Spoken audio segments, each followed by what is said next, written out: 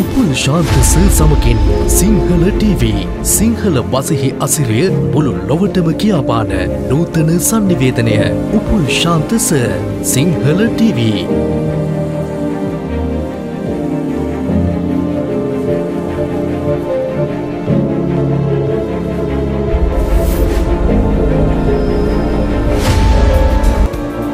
Subscribe now. මගේ ආදරණීය දුයි පුතේ ඔබ සියලු දෙනාටම අයබෝවන්. අද අපි හම්බ වෙන්නේ දෙවෙනි සතිය.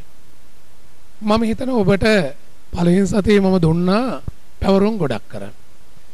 දැන් ඒකදී අඩුපාඩුකම් ගොඩක් හදාගන්න ඇති කියලා මං හිතනවා මොකද ගෙවල වල ඉන්න අම්මා තාත්තටත් ඒක තේරෙන්නේ නැතිනේ.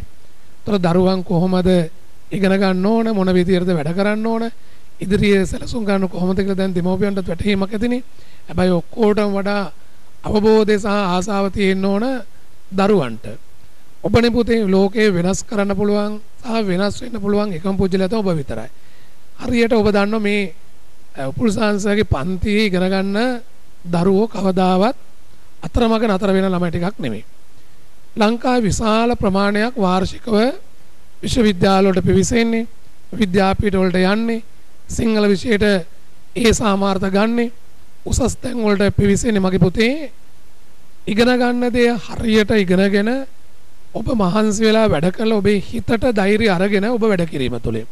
මම කරන්නේ මොකද්ද? මගේ දූල පුතාලට ඔබට ධෛර්යමත් කිරීමයි හරියට උගන්වන එකයි ඔබ නිසි මඟ පෙන්වීමයි මම ඔබට කරන්නේ. දැන් අපි ළමයි වුණාන් පස්සේ ජීවිතේ අපිට වර්ධන තැන් කියලා දෙන්න ඕනේ.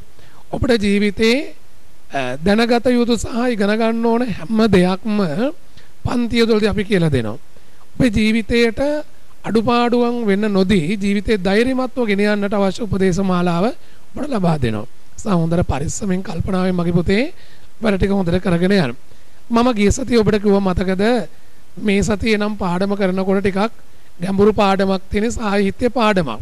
ඒතර 2021 මගේ දූල පුතාලටත් 2022 මගේ දූල පුතාලටත් ඔක්කොට මේ පාඩම පොදු පාඩම. ඒ තමයි පුරාතන ගද සාහිත්‍ය ඉතිහාසය. ඒතර මේ පාඩම හදාරනකොට මේකේ ගොඩාක් කරුණු තියෙනවා. විභාගෙට සාහිත්‍ය පේපරේ පුරාතන ගද්දෙන් ප්‍රශ්න අහනකොට කොටස් කීපකින් අහනවා. එකක් තමයි මගේ පුතේ යුග කඩලා යුග වෙනම අහනවා. උදාහරණයක් ගත්තොත් එහෙම දමදර යුගයේ සාහිත්‍ය පසුබිම දමදර යුගයේ ගද්‍ය සාහිත්‍ය ලක්ෂණ බණකතා සාහිත්‍ය වගේ විවිධ ප්‍රශ්න අහන්න පුළුවන්. කුරුණෑගලත් එහෙමයි. කුරුණෑගල යුගයේත් අහන්න පුළුවන් කුරුණෑගල යුගයේ ගද සාහිත්‍ය ඉතිහාසය, ගද සාහිත්‍ය පසුබිම ඒ කෘති පිළිබඳව විවිධ ප්‍රශ්න අහන්න පුළුවන්. ඒතර අපි තුල පුරාතන ගද්‍ය සාහිත්‍ය ඉතිහාසය පිළිබඳව හොඳ පන්නරයක් දැනුමක් අවබෝධයක් තියෙනවා. හැබැයි ඔක්කොම කරුණු ටික මතකේ තියෙන්න ඕන. දැන් ওই නිබන්ධනයේ තිබුණට නිබන්ධනයේ දිහා බලන් හිට වැඩ නැහැ. මං ගිය සතියේ කිව්වේ හොඳට පාඩම් කළා මේ අද මේ පාඩම කරන්න. ඒතර ගොඩාක් ලොකු දැනුමක් ගන්න පුළුවන්. මගේ පුතාලා දන්නවා පුරාතන ගද්‍ය සාහිත්‍ය පසුබිම. දැන් මේකේ අනිත් දේ තමයි පුරාතන පද්‍ය සාහිත්‍ය පසුබිම දෙකක් තියෙනවා. දැන් පුරාතන පද්‍ය ගත්ත පුතාලා දන්නව මොකක්ද නේ පොත? ගුත්තිල කාව්‍ය වගේ පොත් එන්නේ. එතකොට මේන්නේ පුරාතන ගද්‍යනේ. එතකොට පැරණි යුගයට අයිති ගැදිබසින් ලියපු සාහිත්‍ය ඉතිහාසය පිළිබඳව තමයි පුරාතන ගද සාහිත්‍ය ඉතිහාසය කියලා කියන්නේ. අපි බලමු පොතේ කොහොමද මේක එන්නේ මොන විදිහද කියලා අපි එකින් එක එකින් එක හොඳට බලමු. දැන් පුතාලා දන්නවා අපේ සාහිත්‍ය යුග ටික මට පුතාලා කියන බෑ ඔබට කඩපාඩම්නේ. මට හොඳ යුග ටික කියන බලන්න. අනුරාධපුරය, පොළොන්නරුව, දඹදෙනිය, කුරුණෑගල, ගම්පොළ, කෝට්ටේ, සීතාවක, මහනුවර දැන් මහනුවරින් අපේ රටේ රාජ්‍ය යුග අවසන් වෙනවා. ඊට පස්සේනේ මගේ පුතේ මාතරයි කොළඹයි. ඒක පහුගාලට අයිති වෙන්නේ. එතකොට අපි ඉගෙන ගන්න මෙතෙන්දි ගොඩක් ඉගෙන ගන්නේ අනුරාධපුරේ ඉඳලා පොළොන්නරුව දඹදෙනිය කුරුණෑගල ගම්පොළ කෝට්ටේ සීතාවක මහනුවර දක්වා යුග ටික තමයි අපි හදාරන්නේ. දැන් අන්නේ යුගවල පුරාතන කාලට අයිති ගද්‍ය සාහිත්‍ය පසුබිම තමයි අපි මේකෙදි හදාරන්න බලාපොරොත්තු වෙන්නේ. මගේ දුවේ පුතේ දැන් පළවෙනි යුගයේ මොකක්ද? අනුරාධපුර යුගයේනේ. ඒතොර අනුරාධපුර යුගයේ විශේෂ වෙනවා කරුණු කීපයක් නිසා. එකක් තමයි අමතක කරන්න එපා දැන් මම දැන් මේකේ දාලා තියෙන ඔබට දල සටහනක් විතරයි. හැබැයි මම දැන් කරුණු කියලා දෙනකොට ඔබට ඕමනා නම් අවශ්‍ය නම් ගොඩක් ඒවා ලියා ගන්න පුළුවන්. දැන් ওই නිබන්ධනය තුලම සටහන් කරගන්න පුළුවන්. එහෙම නැත්නම් වෙනම කොලයක ලියා ගන්න පුළුවන්. හැබැයි මම මේ කියන කරුණු ටික කියන විදිහටම නෙවෙයි. ඔලට ඕන විදිහට මතක තියාගෙන ඔබේ දැනුමෙන් ඔබ ලියන්න උත්සාහ දරන්න ඕන. මම මේකෙන් පස්සේ ඔබට මේක සම්බන්ධ පැවරුමක් දෙනවා. හැබැයි මේ පැවරුම ඔබ ගෙදරදී හොඳට පාඩම් කරලා හොඳට ලියලා නැවත වරම මට පෙන්වන්න ඕන පන්ති පටන් ගත්තට පස්සේ. පුතේ අනුබුදු මිහිඳු මහරහතන් වහන්සේ ඇතුළු දූත පිරිස ලංකාවට වඩින්නේ ක්‍රිස්තු පූර්ව 3 වන සියවසේදී. ඒතර ක්‍රිස්තු පූර්ව 3 වන සියවසේදී මහින්දාගමනය සිදුවීමත් සමගම තමයි ලංකාවේ බුදුදහමේ ආලෝකය සාහිත්‍ය ආලෝකය මේ සියල්ලම සිදුවෙන්නේ මහින්දාගමනය සහ දූත පිරිසගේ පැමිණීම සහ ඒ හා සාපේක්ෂව මෙරට ඇතිවෙච්ච විපර්යාසයත් එක තමයි මේ සියලුම දියුණුව ඇති වෙන්නේ. දැන් එතකොට දැන් නැවත වරක් මට කියන්න මහින්දාගමනය සිදුනේ කොයි කාලේද? ක්‍රිස්තු පූර්ව 3 වන සියවසේ. තර මහින්දාගමනය පැමුණම් පස්සේ තමයි අපි මේ කතා කරන සාහිත්‍ය පසුබිම සාහිත්‍ය දියුණුව මේ සියලු දේවල් ඇති වෙන පියවරෙන් පියවර මේ උතුම් කාර්යයෙන් පස්සේ දැන් මේකදී අමතක කරන්න එපා මහින්දාගමනයේ සිදුවීමේ ප්‍රතිඵල ලංකා පුරා දියත් වෙනවා පසු කාලීනව මිහිඳු මහරහතන් වහන්සේ වැඩම කළාට පස්සේ උන්වහන්සේ වැඩවීමත් එක්ක ලංකාවට ගේනවා මාගදී භාෂාවෙන් ලිවිච්ච කෘති. දැන් මේ කෘති තමයි pāli භාෂාවෙන් නැත්නම් මාගදී භාෂාවෙන් ලිවිච්ච කෘති වල තියෙන්නේ පළවෙනි ධර්ම සංගායනාව, දෙවෙනි ධර්ම සංගායනාව සහ තුන්වෙනි ධර්ම සංගායනාව තුල ත්‍රිපිටකය පිළිබඳව සාකච්ඡාට බඳුන් වෙච්ච කරුණු සහ ඒ සිද්ධිතාම තමයි මාගදී භාෂාවෙන් කෘතිවල අන්තර්ගත වෙලා තියෙන්නේ. ඒව තමයි මිහිඳු මහරහතන් වහන්සේ සමග මෙරට අපිට ලැබෙන දායාද වෙන්නේ. දැන් මතකනේ පුතාලට දැන් ආයසරයක් කියන බණේ කරුණ හොඳට තේරුම් ගන්න. මිහිඳු මහරහතන් වහන්සේ වඩින්නේ මොන කාලේද? ක්‍රිස්තු පූර්ව 3 වන සියවසේදී. උන්වහන්සේ ඇතුළු දූත පිරිස ලංකාවට වැඩමවීමත් එක්කම මේ සියලුම දියුණුව හා සංවර්ධන සිද්ධ වෙන්නේ පුතේ. ඒකම උන්වහන්සේ වඩිනකොට ලංකාවට රැගෙන ආපු දේවල් තමයි මාගදී භාෂාවෙන් ලිවිච්ච අර්ථකථා කෘති. දැන් ඒ කෘතිවල තිබුණේ පුතලා දන්නවා පළවෙනි ධර්ම සංගායනාව, දෙවෙනි ධර්ම සංගායනාව, තුන්වෙනි ධර්ම සංගායනාව තියෙනනේ. ඒ සංගායනාව තුලදී ත්‍රිපිටකය පිළිබඳව සාකච්ඡා වෙච්ච දේවල්, කරුණු අන්තර්ගත වෙච්ච දේවල් තමයි ඒව තමයි අර ග්‍රන්ථවල තියෙන්නේ. ඒතර ඒවා ලියලා තිබුණේ මොන භාෂාවෙන්ද? pāli භාෂාවෙන්. දැන් ඒ පිළිබඳව දැන් ලංකාවේ නැහැ. නමුත් ඒව තමයි අපිට ලැබිච්ච දායාද. පසු කාලීනව ඔය බුද්ධඝෝස හාමුදුරුවෝ එහෙම අන්නේ පොත් අනුසාරයෙන් තමයි නැවත වරක්.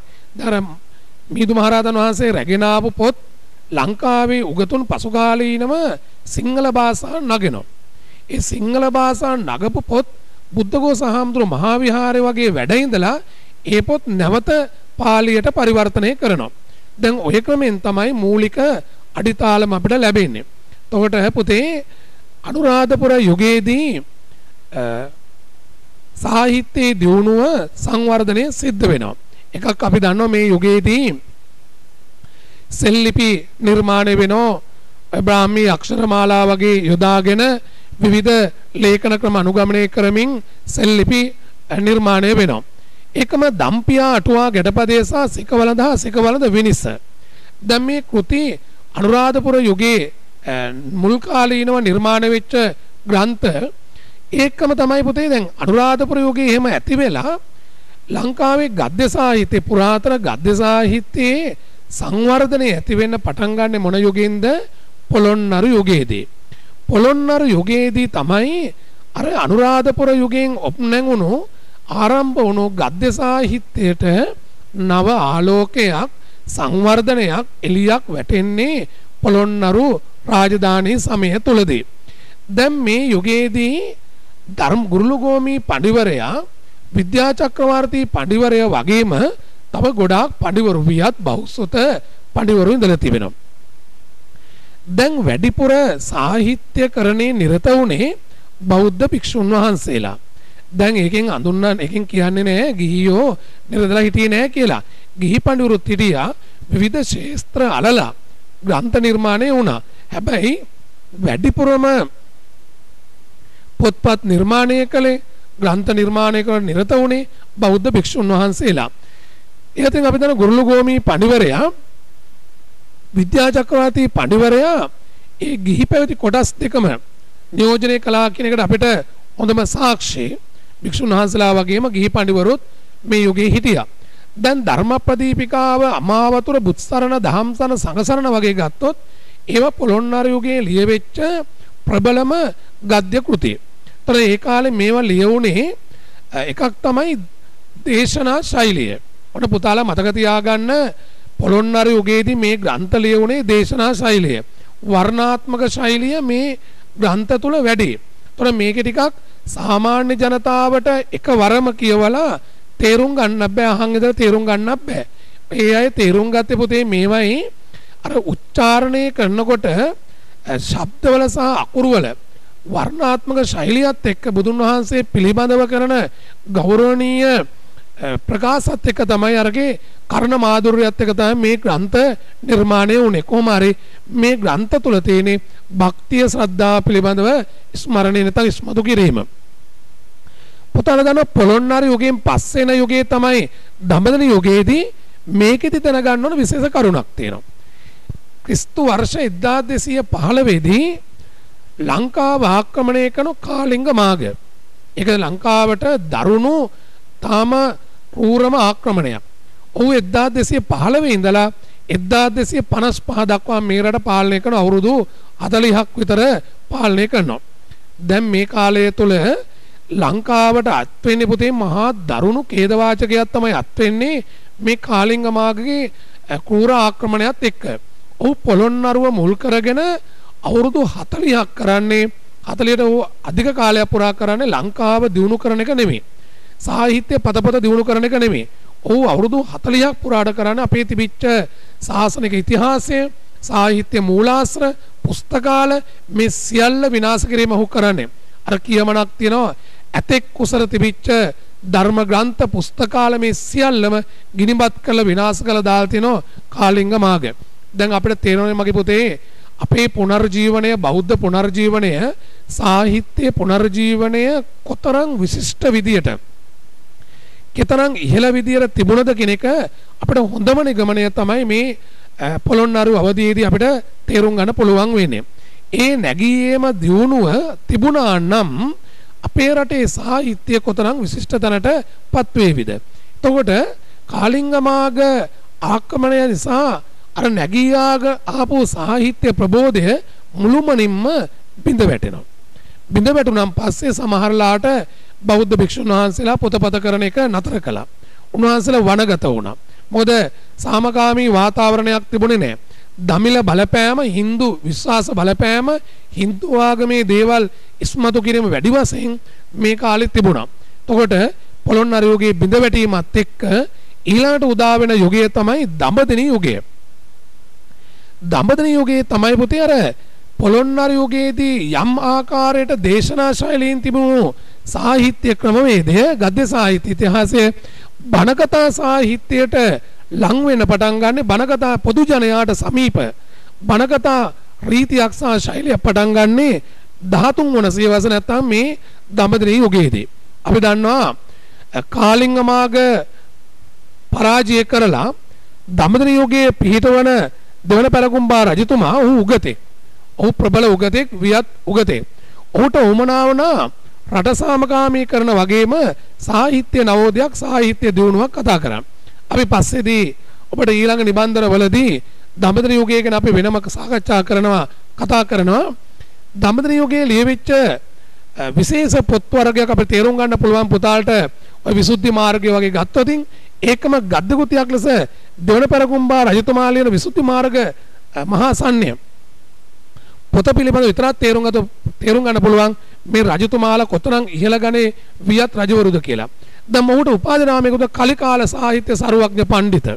අපි දන්නෝ රාජ්‍යත්වයේ දාන රජ කෙනෙකුට කලිකාල සාහිත්‍ය සරුවඥ පඬිත කියන නාමයත් එක්ක තිබීම තුළින් ඔහු කෙතරම් වියත් උගතෙක්ද කියලා අපිට තේරුම් ගන්න පුළුවන්. ඒතර ඔහුගේ මූලිකත්වයෙන් මේ දමදින යුගය තුළ දැවැන්ත සාහිත්‍ය ප්‍රබෝධයක් ඇති වුණා. ඒතර මයුරපාද පරිණාධිපති බුද්ධ පුත්‍ර හාමුදුරුවෝ පූජාවලිය නිර්මාණය කරනවා. ඒ වගේම ග්‍රාමවාසී වැඩ හිටපු ධර්මසේන හාමුදුරුවෝ නිර්මාණය කරන සද්ධර්ම රත්නාවලිය. දැන් මේ පොත් ගත්තොත් දඹදින යුගයේ නිර්මාණය වෙච්ච දැවැන්ත විශිෂ්ටම කෘති. ඒතර අපි පස්සේ මේ යුග පිළිබඳ කතා කරනවා. ඊට පස්සේ දඹදින යුගයෙන් පස්සේ උදා වෙන යුගය තමයි කුරුණෑගල යුගය. කුරුණෑගල යුගයේ සාහිත්‍යමය වශයෙන් ගත්තොත් ඉතා විශේෂත්වයක් දරනවා. එකක් තමයි දඹදින යුගයේ ඇතිවෙච්ච බණකතා ශෛලිය තවත් පැත්තකින් දියුණුවේ මාවතක් උදා වෙන්නේ කුරුණෑගල යුගයේදී. කුරුණෑගල යුගයේදී රජතුමා රජවරු නැතම් පාලකයෝ ඒ යුගයේ දිනු යුගය තුළ සාහිත්‍ය සංවර්ධනය කරන්න ශාසනික පැත්ත දිනු කරන්න පුදුමාකාර වෙහෙසීමක් සහ උත්සාහයක් දරුවා. ඒ වගේම රජවරු වගේම ප්‍රභූවරු ඒ වගේ ඇමතිවරු මහා දැවැන්ත දායකත්වයක් සාහිත්‍ය දිනු කරන්න මේ යුගයේදී ලබා දුන්නා.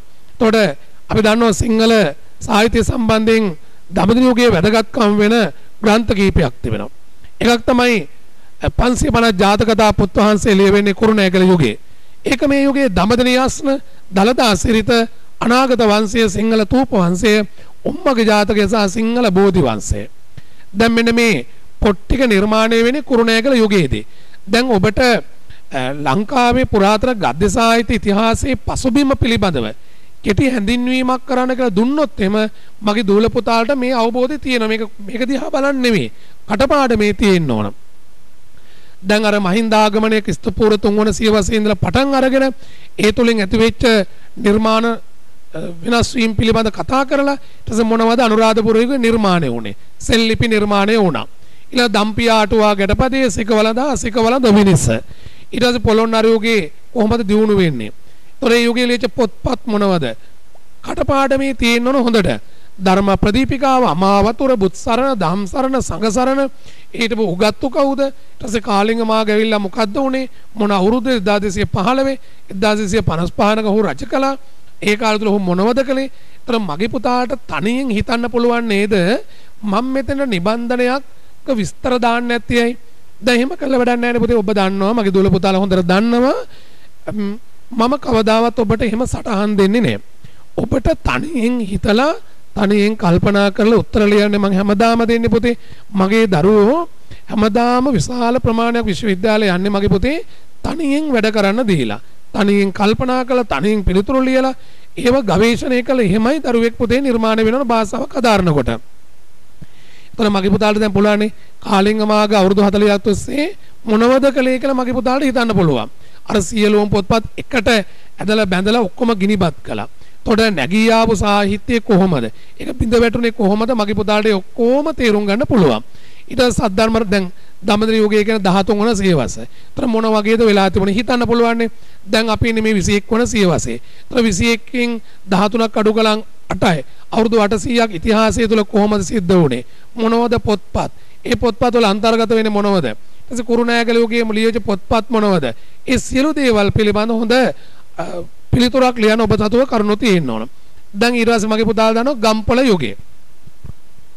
දැන් ගම්පල යුගයේ ගත්තොතින් පසු කාලීන ගද්‍ය සාහිත්‍ය ඉතිහාසයේ තවත් දියුණු පැතිකඩක් උදා වෙනවා ගම්පල යුගයේදී. ගම්පල යුගයේදී ලියන ඉලුවත්තන ගලු වංශය නිකාය සංග්‍රහය බාලාවතාර සම්ණය වගේම වැදගත්ම පොතක් තමයි සද්ධර්මා ලංකාරය. අපිටත් විභාගකට තියෙනවා සද්ධර්මා ලංකාරය. දැන් පුතාලා දන්නවා පස්සේදී අපි අද කුරුණෑගල කතා කරන වගේ පස්සේදී අපි ගම්පල යුගය ගැන ඔබට වෙනම ඊළඟ නිබන්ධ වලදී කතා කරනවා. නමුත් ඔබ දැනගන්න ඕන මේ ගම්පල යුගයේ ලියන ගද්‍ය සාහිත්‍ය පොත් මොනවද? ඒතොර එළුවත්තන ගලු වංශය, බාලාවතර සම්ණය, නිකාය සංග්‍රහය වගේම සද්ධර්මා ලංකාරය කියන මේ විශිෂ්ට ග්‍රන්ථ නිර්මාණය වෙන්නේ ගම්පොළ යුගයේ. ඊට පස්සේ පුතාලා දන්නවා ගම්පොළට පස්සේ උදා වෙන යුගය තමයි කෝට්ටේ අවධිය. දැන් ඔබ හොඳට දන්න දෙයක් තමයි මොකක්ද? කෝට්ටේ සාහිත්‍ය ගත්තොත් වැඩිපුරම සිංහල සාහිත්‍යයේ ස්වර්ණ පද්‍ය සාහිත්‍යයේ ස්වර්ණමය යුගය විශිෂ්ට උගත් විටපු යුගය සංදේශ කෘති නිර්මාණය වෙච්ච යුගය සිංහල භාෂා නව නිර්මාණකතු වෙච්ච යුගය සිව්පදා කෘතියේ නිර්මාණකරණය දියුණු වෙච්ච යුගය විශිෂ්ට ප්‍රතිභාපූර්ණ උගත්තුන්ගේ දායකත්වය ලැබුණු යුගය රාජ්‍ය අනුග්‍රහය ප්‍රභූ අනුග්‍රහය හොඳම පිරිවෙන් අධ්‍යාපන ආයතන හැම දෙයක් පිළිබඳ විශිෂ්ටතම යුගය තමයි කෝට්ටේ යුගය. කෝට්ටේ යුගයේ වැඩිපුරම කතා වෙන්නේ පුතේ පද්‍ය සාහිත්‍යයනේ. හැබැයි ඒ වුණාට ගද්‍ය සාහිත්‍යෙ දියුණුණා. මොනවද කුවේණී අස්න සද්ධර්ම රත්නාකරය පංචිකා ප්‍රදීපය වගේ ගද්‍ය කෘතිත් නිර්මාණය වුණා. දැන් ඊට පස්සේ පුතේ දැන් අපි දන්න කෝට්ටේට පස්සේ උදා වෙන්නේ සීතාවක අවධිය. දැන් ওই නිබන්ධනය තුළ ගද්‍ය කෘති කිසිවක් ලියුන්නේ නැහැ කියලා දාලා තියෙන්නේ පද්‍ය කෘති නිර්මාණය වුණා. කුරුණෑගලෝගේදී දැන් අපි දන්නවා ඒටි එකම එක කතුවරයනේ මගේ පුතාලා දන්නව නේද? ඒ කතුවරය කවුද? අලගිය වන්න මොක වෙට්ටිතුමා. කවුද මගේ පුතේ? අලගිය වන්න මොක වෙට්ටිතුමා. ඔතන අලගිය වන්න මොක වෙටි පඬිතුමා තමයි ඔය ධර්මද්වජ පඬිවරයාගේ පුතා. ඒතර මෙයා තමයි හිටපු එකම එක කතුවරයා. ඒතර පස්සේ කාලේදී මෙයා පවා කතෝලික ධර්මයේ වැළඳගෙන තියෙනවා. ඒතර හිතාගන්න පුළුවන් මේ සීතාවක යුගයේ අපිට මොනතරම් බලපෑමක් සාහිත්‍යයට බලපෑමක් ආවද බෞද්ධ ප්‍රබෝධන බලපෑමක් ආවද කියලා. එතකොට පුතේ දැන් මේ යුගයේ ලියවෙන ඔය සැවුල් සංදේශ පුතාල් දන්නෝ සුභාෂිතය වගේ පොත් ලියවෙනවා. හැබැයි මේ යුගයේ ලියවෙන්නේ නැහැ ගද්‍ය කෘති නිර්මාණය වෙන්නේ නැහැ. ඒකම අපි දන්නවා සාහිත්‍යයේ ක්‍රමානුකූලව විවිධ විපර්යාස විවිධ ආක්‍රමණික විවිධ ගැටලු ඇවිල්ලා අපිට උදා වෙන මහනුවර යුගය. ඒතර මහනුවර යුගයේ සාහිත්‍ය ක්‍රමානුකූල බිඳ වැටෙනවා. හැබැයි ඒ වුණාට ඒ යුගයේ ලියවෙන මොනවද? රාජාවලිය, සාරාර්ථ සංග්‍රහය, සාරාර්ථ දීපනි, දලදා පූජාවලිය, සිංහල දලදා වංශය.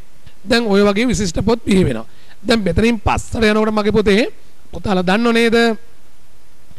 වැලිවිට සරණකර හාමුදුරු උන්වහන්සේ ඇති කරගත්ත පසුකාලීන සාහිත්‍ය නවෝදය තමයි නිසා තමයි මහනුවර යුගයේ අවසානයේදී දැවැන්ත ලෙස සාහිත්‍ය ප්‍රබෝධයක් ලංකාවේ ඇති වෙන්නේ. ඒතර ඒකෙන් පස්සේ තමයි මහනුවර යුගයට අපි නිර්මාණ කර මේ මහතර යුගයට නිර්මාණය කරන්නට යන්නේ. ඒතර ඒව තමයි බලපෑවේ කොළඹ යුගයේ සාහිත්‍යයට. මෙන්න මේ විදිහට මගේ පුතේ අනුරාධපුරය පොළොන්නරුව දඹදෙනිය කුරුණෑගල ගම්පොළ කෝට්ටේ සීතාවක මහනුවර ඔය සාහිත්‍යය ගැන කතා කරයි අපි දැන් පුතාලා ගෙදර ඉන්න නිසා උතන ඉන්න සමහරට අම්මා තාත්තට ගැටලුවක් ඇති වෙන්න පුළුවන්. ඔබේ නංගි මල්ට ගැටලුවක් ඇති වෙන්න පුළුවන්. කෝස මෙතන යාපහුව කියලා.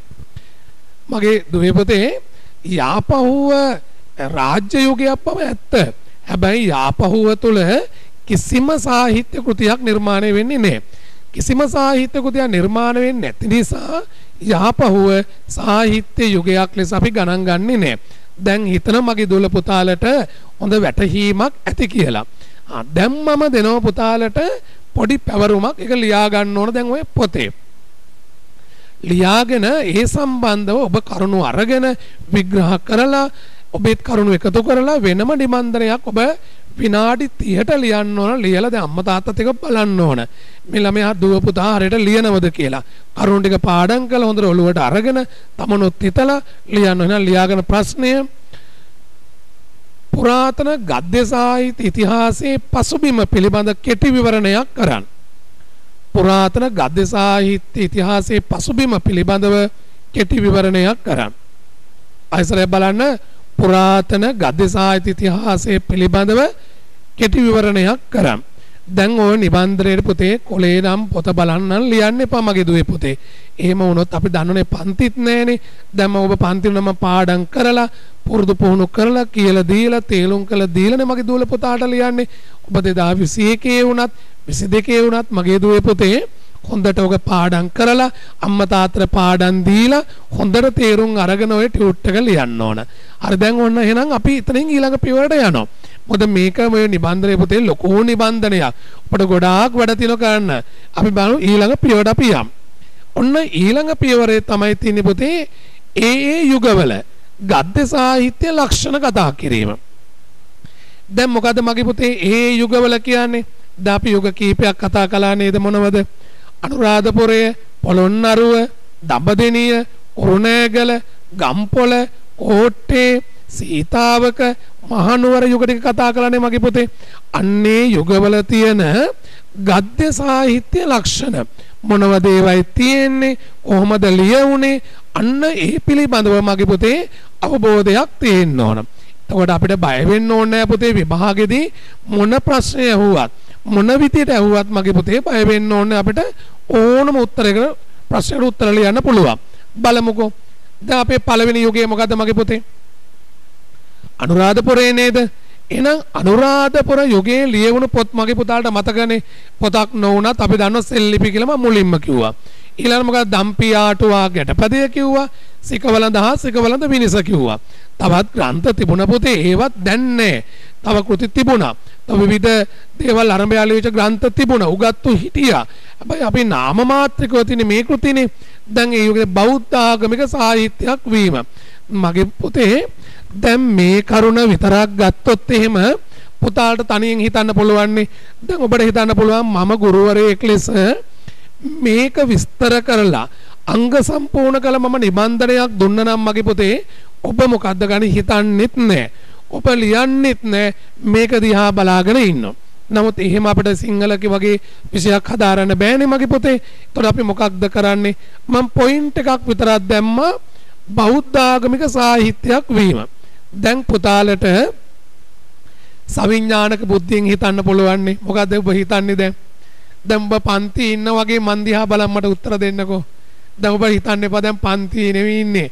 දැන් හැම වෙලාවෙම වැඩ කරන්න උපුල් සර්ගේ පන්තියේ තමයි දැන් මං ඉන්නේ දැන් සර් මගේ ඉස්සරහා ඉන්න මං පන්තියේ ඉන්නවා ඒ බැඳීමෙන් තමයි මේක කරන්න උතර අමාරු නෑ දැන් මට කියන දැන් පළවෙනි එකනේ බෞද්ධ සාහිත්‍යයක් වීමනේ. ඒතර මගේ පුතාට ලියන්න පුළුවන් නේද?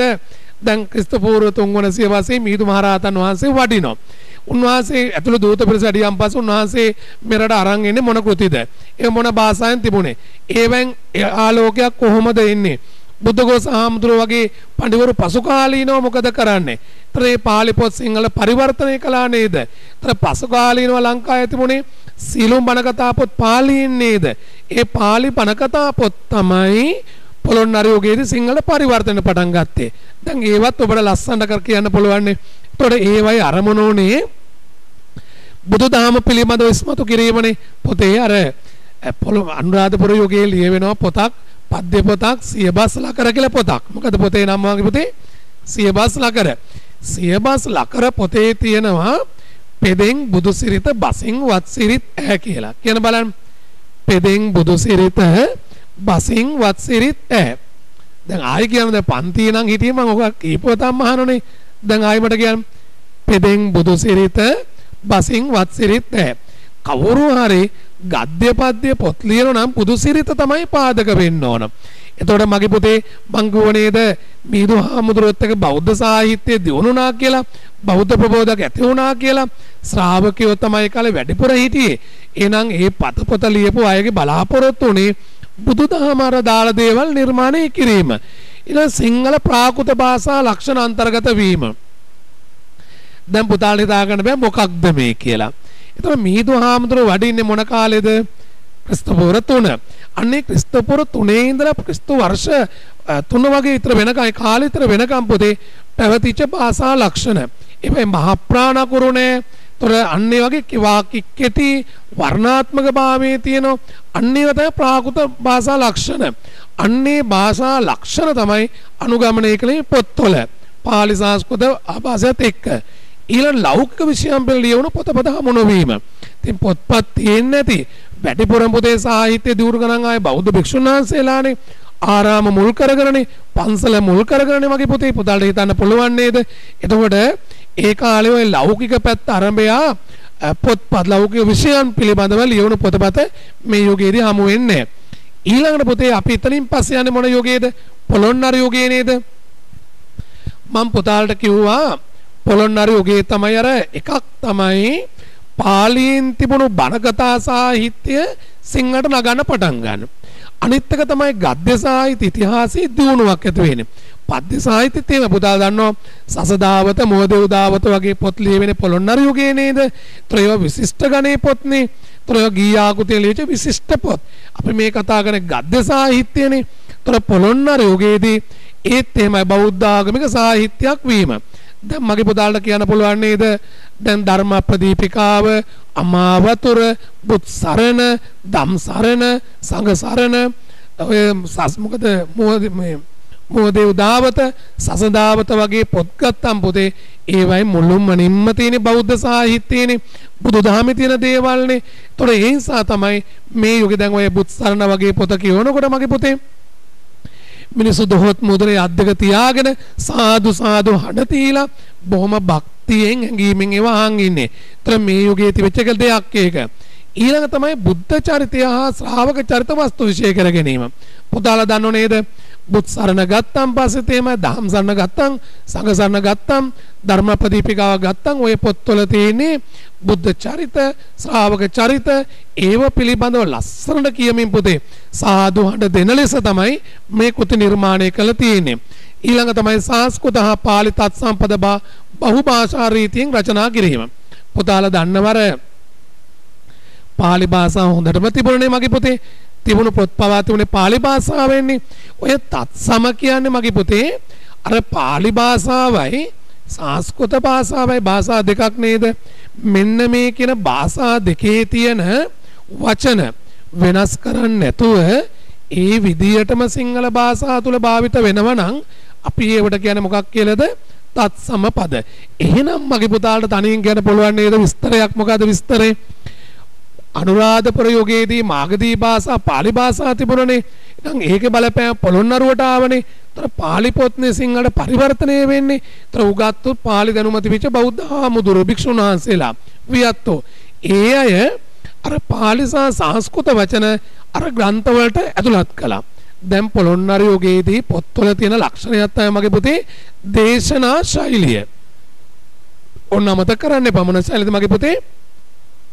දේශනා ශෛලිය. දේශනා ශෛලිය තුළ එකක් මේ යුගයේ පොත් ගත්තොත් එහෙම සාමාන්‍ය ජනතාවට කියවල තේරුම් ගන්න අමාරුයි. වටහා ගන්න අමාරුයි මොකද ඒවයි අර පාලි සංස්කෘත හරබර වචන ගැඹුරු වචන තුලත් වෙනවා. හැබැයි පුතේ මේ යුගයේ පොත්වල තියෙන විශේෂ ලක්ෂණයක් තමයි ශ්‍රුති මාధుර්යය තියෙනවා. අපි කියන කර්ණ මාధుර්යය කියලා. කියන කනට අහන් ඉන්න ආසයි. වර්ණාත්මක විලාසය තියෙනවා. අර ගද්‍යාකෘතිය ලිව්වට හරිම ලස්සනයි අහන් ඉන්න. හරිම සුන්දර මිහිරියාවත්න භාෂාව තුළ ගැඹුරු පද තමයි. ඒවර වර්ණාත්මක ශෛලීන් බුදුහාමුදුරු පිළිබඳව විස්තරාත්මක කරන පුතේ. ලෞතර බුදුරජාන් වහන්සේ කියලා අපි විස්තර කරනකොට අහන් ඉන්න අය හඬත් එක්ක සාදු සාදු දෙනවා. දැන් බුත්සරණ වගේ පොත ගත්ත පොතේ ඒකේ ආකෘතියත් එක්ක හරිම ශ්‍රුති මාధుරයයි අහන් ඉන්න පුතේ. හරිම සුන්දරයි. අන්න මේ යුගයේ තිබිච්ච විශේෂ ලක්ෂණ තමයි මෙන්න මේවා. ඒතර තව එකක් මතක තියාගන්න ඔබේ දැනුමට පොළොන්නරු යුගයේ පොත්වල මගේ පුතේ අර ද්‍රවිඩ භාෂාගත වචනක් තිබුණා. ඒතර මම මගේ පුතාලගෙන් හේතුව ඒ කියලා ඇහුවොත් දැන් පුතාලට කියන්න පුළුවන් නේ. දැන් මොකද පුතේ හේතුව? එක හේතුවක් තමයි මම දන්නව දුල පුතා ළඟ හිටින ලස්සනට උත්තර දෙනවා.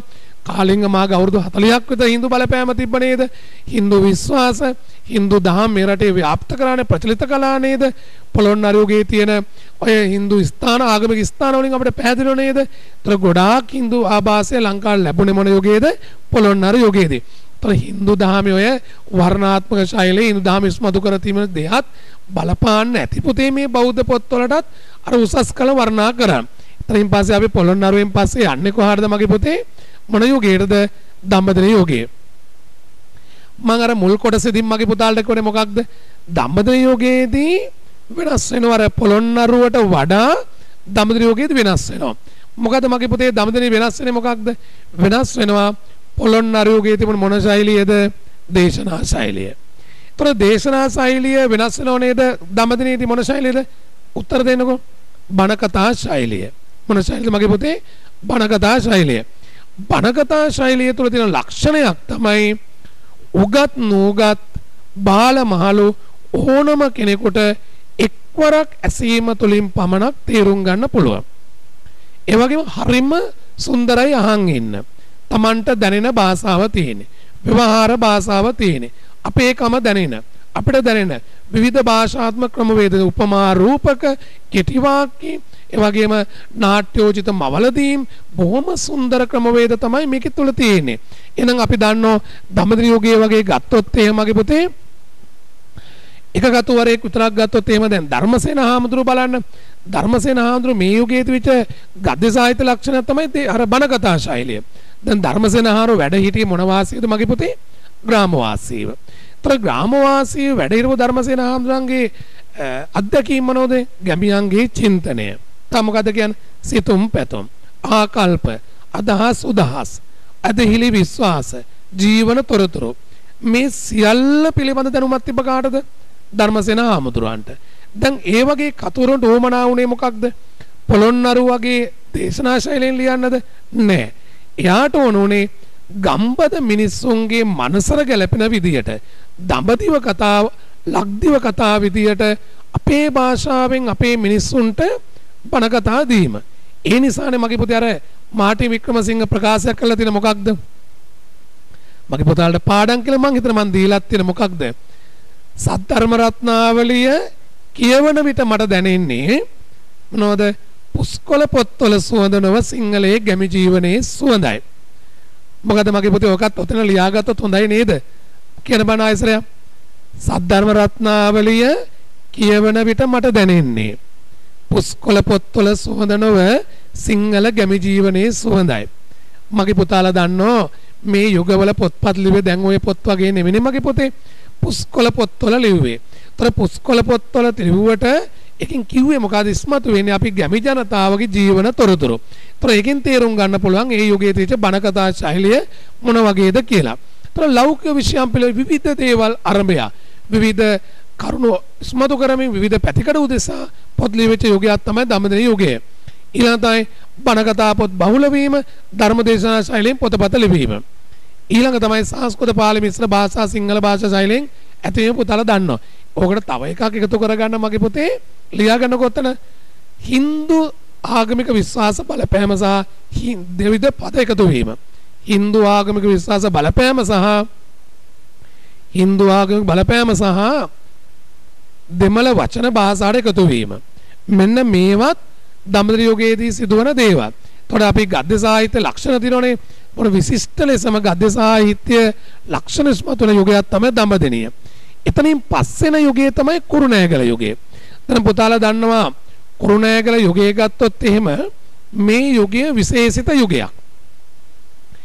දැන් ලංකා ඉතිහාසය තුළ ගද්‍ය සාහිත්‍ය ඉතිහාසය තුළ මහා දවන්ත ධර්මග්‍රන්ථය මොකක්ද? ඒ මහා දවන්ත ධර්මග්‍රන්ථය තමයි 550 ජාතකතා පොත් වහන්සේ. ତර මේ පොත පාලි භාෂාවෙන් තිබුණ පාලි ජාතකට කතා කියලා. මේ පොත් තමයි සිංහලට පරිවර්තනය වෙන්නේ. උම්මගේ ජාතකය වගේ පොත් මහා දැවැන්ත පොත් නිර්මාණය වෙනවා. ତර මේ යුගයේ තමයි පොදු ජන රුචියවට සාමාන්‍ය ජනතාවට භාෂාව ලං වෙන්නේ සාමාන්‍ය ජනතාව ජීවිත ආලෝකමත් කරන ඒතරට භාෂාව ගමන් කරන්නේ මෙන්න මේ යුගයේදී. මේ යුගයේ තමයි පාලි පොත්වල පරිවර්තන කෘති බහුල වීම. දැන් පුතාලට දැන් තනියෙන් ලියන්න පුළුවන් නේද හිතලා ඕන විදිහට කරුණු ගොනු කරලා මිහිඳු හාමුදුරුවෝ මිහිඳු මහරහතන් වහන්සේ පාලි භාෂාවෙන් තුන්ච පොත් තරන් එනවා. බුද්ධඝෝස හාමුදුරුවෝ නැවත සිංහල පරිවර්තන කර සිංහල පොත් පාලියට පරිවර්තනය කරනවා. ඒතර ලංකාවේ මුල්ම බණකතා පොත් තිබුණේ පාලි භාෂාවෙන් නේද? ඒතර මේ පාලි භාෂා පොත් දැන් උදාහරණයක් ගත්තොත් එහෙම සද්ධර්ම රත්නාවලිය ලිව්වට ඒක තුනේ පාලි ධම්මපදට්ට කතා පොතනේ. සද්ධර්මාලංකාලියට රසවාහිනී පොත නේද? ජාතකතා ලිව්වට ජාතකට කතා පොත නේද? උම්මගේ ජාත උම්මගේ කියලා වෙනම පාලි පොතක් නේද තිබුණේ. ඒතර ඒව තමයි සිංහල පරිවර්තනය වෙන්නේ. නම් මේ යුගයේදී කුරුණෑතෝප වංශය වගේ පොත් ඒව පාලියෙන් තිබිච්ච පොත්. ඒව තමයි සිංහල පරිවර්තනය වෙන්නේ. එහෙනම් ඒ පරිවර්තනයේ ලක්ෂණ තියෙනවා. වැදගත්ම ලක්ෂණය මගේ පුතේ අමතක කරන්න බෑ පස්සේ කියලා දෙන්නම්. වෘතගන්ධී ශෛලියෙන් පොත් ලිවීම. ඒතර මේ ලක්ෂණය මීට පෙර යුගවල තිබුණා. හැබැයි වෘතගන්ධී ශෛලිය සම්පූර්ණම දලදා සිරිත වගේ පොතක්. වෘතගන්ධ ශෛලියෙන් ලියුණ එකම පොත දලදා සිරිතයි. ඒ පොතෙන් තමයි සිංහල මේ වෘතගන්ධී ශෛලිය කියන ශෛලී ආభాසයක් සම්ප්‍රදායක් අපිට එන අපි බලමු ඒව පස්සේ. මිශ්‍ර සිංහල භාෂා ලක්ෂණ අන්තර්ගත වීම. මෙන්න මේව තමයි කුරුණෑගල යුගයේ තියෙන්නේ. ඊට අමතරව අපි යනවා ගම්පොලට. දැන් ගම්පොලට ගියාට පස්සේ ගම්පොලත් පාලි සංස්කෘත උදත් උදී ජනයා සඳහා පොත් ලියවීම. ඒතර අපි දන්නවා සාදු ජනයන්ගේ මේ ප්‍රයෝජන උදෙසා තමයි සද්ධර්ම රත්නාවල සද්ධර්මාලංකාර වගේ පොත් ලියන්නේ. සාමාන්‍ය ජනතාව අතට තේරුම් ගන්න පුළුවන් පොත් ලියන්නේ හැම යුගයේ ලිව්වත් තවත් යුගයක් තමයි ගම්පොළ යුගයේදී. සද්ධර්මාලංකාර වගේ පොත ගත්තොත් ඒ පොත ඇත්තටම ලියන්නේ අර පාලි භාෂා නොදන්න සාමාන්‍ය ජනතාවට කියවලා තේරුම් ගන්න පුළුවන් අපේ ඉතිහාසයේ තොරතුරු මෑත කාලීන කතාපුවත් ඒව තමයි අන්තර්ගත වෙන්නේ. ඊළඟ තමයි ධර්මදේශනා සඳහා පොත්පත් ලිවීම. මෙන්න මේ ඔක්කොම ටික සිද්ධ වෙන්නේ කුරුණෑගල යුගයේ ඒ යුගවල. ඊට පස්සේ පුතාලා දන්නවා මෙන්න මේ පොදු ලක්ෂණ. දැන් මේකෙන් පස්සේ එන කෝට්ටේ යුගයේ ගත්තා පස්සෙත් ওই පොදු ලක්ෂණ තියෙන්නේ. දියුණු ලක්ෂණ ඇති වෙන සමහර දේවල්. ඊළඟ මහනුවරත් එහෙමයි. සීතාගේ පොත්පත් ලියවෙන ගද්‍ය කෘති. හරි දැන් පොදුවේ ඔන්න ඔය ලක්ෂණ ටික එකම ටික නෙන්නේ. එකම ලක්ෂණ ටික එන්නේ. දැන් මගේ පුතාලා මේ ටික බලලා මා පැවරුමක් දෙනවා. ඒ පැවරුම ලියාගෙන ඒකත් එක කොලයක දෙපැත්තට වගේ අරගෙන ඔබේ අදහසත් එකතු කරලා කරුණු ලියන්න ඕන. ලියාගෙන මගේ පුතේ පැවරුම දැන් වැඩ ගොඩයි. විතර නිකන් ඉන්නේ මගේ පුතේ. දොබ හිතලා බලන්න. අම්මලා තාත්තලා ගොඩක් ගෙදර වැඩ ගන්නෙත් නැහනේ මගේ පුතේ. දැන් ගෙදරනේ ඉන්නේ. දැන් ටීවී එකම බල බල ඉන්නත් එපා. ෆෝන් එකේම ඉන්නත් එපා. එතකොට අපිට ඉලක්කයක් තියෙනවනේ පුතේ 2021 යට ලබන අවුරුද්දේ 22 යට ඊළඟ අවුරුද්දේ. එතකොට මේ ගෝලීය වසංගත කියන්නේ අපි දන්නව කොච්චර කාලයක් කොහොම විදිහට තියෙද කියලා අපි දන්නේ නැහනේ මගේ පුතේ. ඒ නිසා අපිට මේවා තේරුම් අරන් ඔබට පුළුවන් ඕනම දෙයක් කරන්න. එතකොට මෙන්න මේ පැවරුම ලියා ගන්න ඕන. පැවරුම තමයි පුරාතන ගද්‍ය සාහිත්‍ය යුගවල පුරාතන ගද්‍ය සාහිත්‍ය යුගවල සාහිත්‍ය ලක්ෂණ පිළිබඳ කෙටි විවරණයක් ගන්න. පුරාතන ගද්‍ය සාහිත්‍ය යුගවල සාහිත්‍ය ලක්ෂණ පිළිබඳව කෙටි විවරණයක් කරා. දැන් ඔබට මම දුන්න මේ කොටස් දෙකෙන් මගේ පුතාට දුන්නම පැවරුම් දෙකක්. ඒතර මේ පැවරුම් දෙක හොඳට කරන්න ඕන. මේ පැවරුම් දෙක හොඳට කරා. මේ පැවරුම් දෙක පුතාලා කරනකොට ලොකු කරුණු ප්‍රමාණයක් ලොකු දැනුමක් ඔබ සතුට ඔබට ලැබෙනවා. එහෙනම් මගේ පුතේ ඔන්න පියවරවන් දෙකක් අපි කළා. එකක් තමයි යුග පිළිබඳව කතා කළා. ඊට පස්සේ කතා කළා මේ යුගවල ගද්‍ය සාහිත්‍ය ලක්ෂණ. එහෙනම් ඔය පැවරුම් දෙක ඔබ හොඳට කරන්න ඕන ඊට පස්සේ අපි බලමු ඊළඟ කොටසේදී කුරුණෑගල යුගය සහ ඒ යුගයේ ලියච්ච පොත්පත් ජාතක කතා සහ ඒ ආසිත කරුණු පිළිබඳ අපි ඊළඟ කොටසේදී අපි හදාරමු හොඳට. හරි පුතේ දැන් අපි ඊළඟට පිවිසෙන්නේ මොකක්ද ඔබට දැන් පේනවනේ ওই නිබන්ධනේ මොකක්ද තියෙන්නේ කුරුණෑගල යුගයේ. දැන් ඔබට තියෙනව නේද කුරුණෑගල යුගයේ ප්‍රධාන පොතක් තියෙන විභාගෙට මේද? මොකද්ද පොත කියන්නේ? ජාතක කතා පොත් වහන්සේ. ඒතර දැන් අපිට ජාතක කතා පොත් වහන්සේ තුලින් ජාතක කතා දෙකක් තියෙන පොතේ. දැන් මොකද ජාතක කතා දෙක කියනකො? එකක් තමයි සදකින්දුරු ජාතකය අනිත් එක චුල්ලදනුද්දර ජාතකේ ජාතක කතා දෙකයි තියෙන්නේ. ජාතක කතා දෙක නම් පොඩි ජාතක කතා දෙකක්. හැබැයි ওই දෙක හදාරන පුතේ අපිට දෙන්නේ අවුරුදු දෙකයි මාස ගාණක්. හැබැයි දැන් මේ ගෝලීය වසංගතයත් එක්ක දැන් අපිට පන්ති නෑ. විශේෂයෙන්ම ඉස්කෝලේ නෑ. ඔබට පාඩම් අතපසුන ගොඩක්. මං හිතනවා ඔබ ගොඩක් හිතලා වැඩ කරන පිරිස අඩුයි. කම්මැලිකමත් එක්ක එහෙම වෙන්න පුළුවන්. හැමෝම එහෙම නෙමෙයි. නමුත් එහෙම පුතේ අපි අපිම දිනන්න අපි උත්සාහ දරන්න ඕන. ඒතර අපිට පුළුවන් අපේ ජයග්‍රහණය අත් කරගෙන අපිට බැරි කමක් නැහැ මගේ පුතේ. අපිට හිතන්නයි ඕන.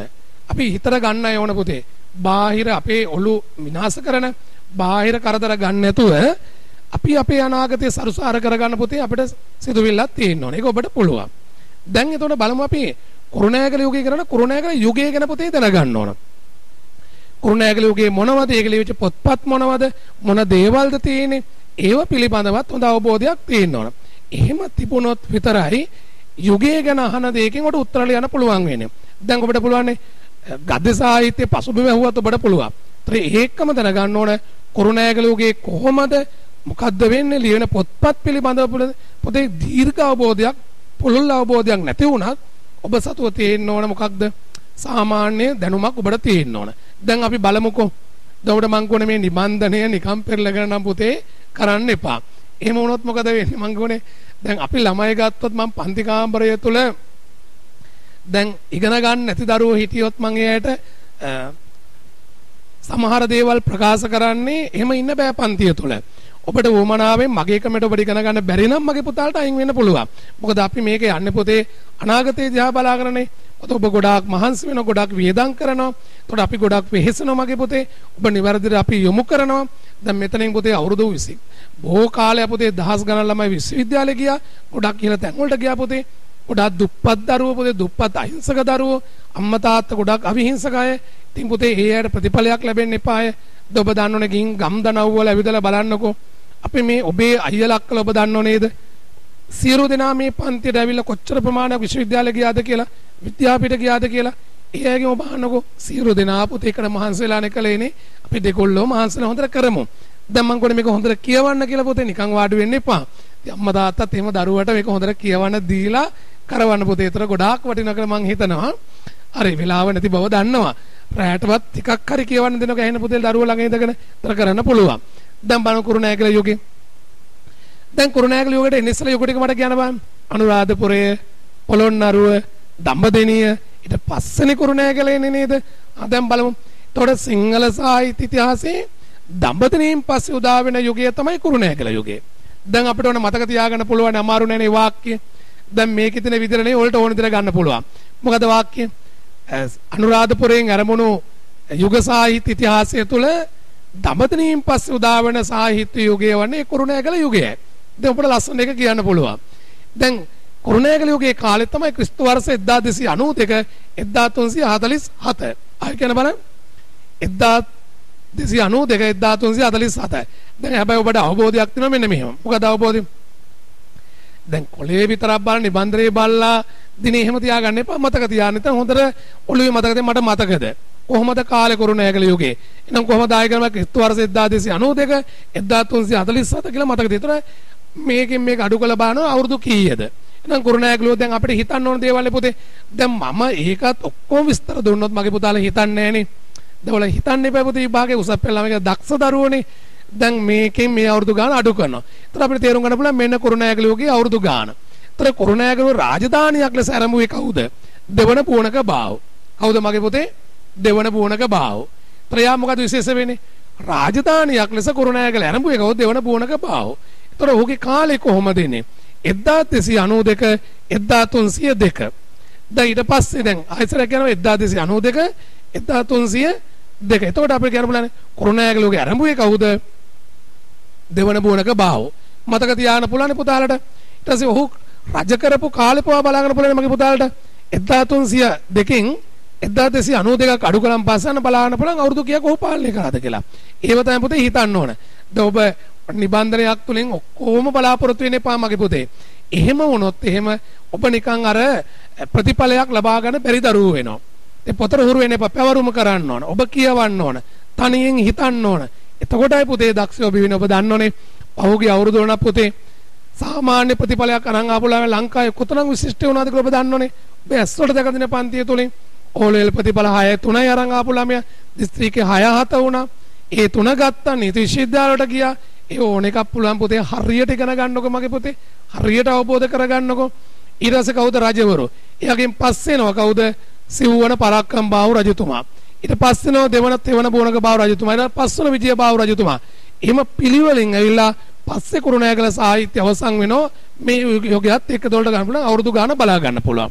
එතකොට මේ පිළිවෙල පොඩි කෙටි හැඳින්වීමක් පුතාලට තියෙන්න ඕන.